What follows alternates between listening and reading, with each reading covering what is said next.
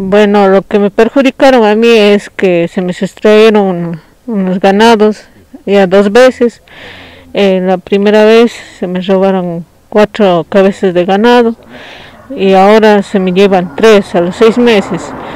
Y, y es un perjuicio grande que, o sea, para, para mí, digamos así, una pérdida grande porque porque todos los habitantes de aquí vivimos a la vez de la ganadería.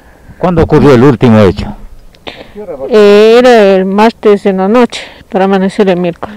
Sí puede haber represalias, pero, o sea, yo fui a hacer la denuncia, en la primera no lo hice, pero ahora lo hice y ojalá las autoridades me ayuden. En el momento que se acercó la perjudicada sobre este el robo de, de ganado, eh, actuamos de una manera eh, muy pronta para poder eh, verificar el, lugar de los hechos en la cual está muy cercano a la vía y, considero que las personas, los delincuentes que, siempre van a, hacer el daño, siempre se organizan.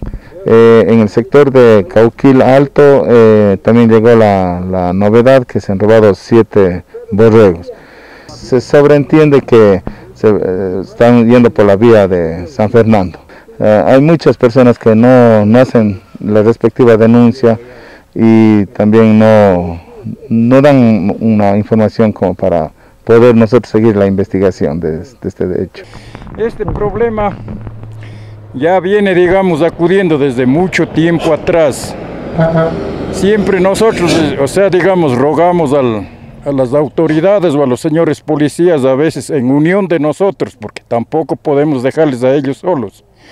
Pero en verdad, digamos, la gente, oiga, ya está tratando de abusar, o sea, ya nos están queriendo ver la cara de muy giles, porque ya no estamos aceptando esto, porque la noche que le roban aquí las tres cabezas de ganado a la vecina, imagínense, yo que vivo aquí, la vecina aquí casi al frente nuestro, y no sé cuál sea, digamos, el horario de ellos, porque en verdad nosotros a veces se ve o se escucha, digamos, que este ladronismo existe por toda parte, pero hay que defenderse personalmente, y eso quisiera pedir a veces a las autoridades en presencia de una defensa propia que uno se puede cometer, por decir, cogerlos, yo qué sé, hasta que lleguen las autoridades, pero pedirles de favor a veces que las autoridades lleven en mentalidad esto, que no venga contra nosotros como usuarios del ganado, usuarios de las casas donde vivimos. Simple y livianamente se les pide que los castigos sí deben ser un poco más reales, o sea, más groseros, lo que se dice una palabra ligera,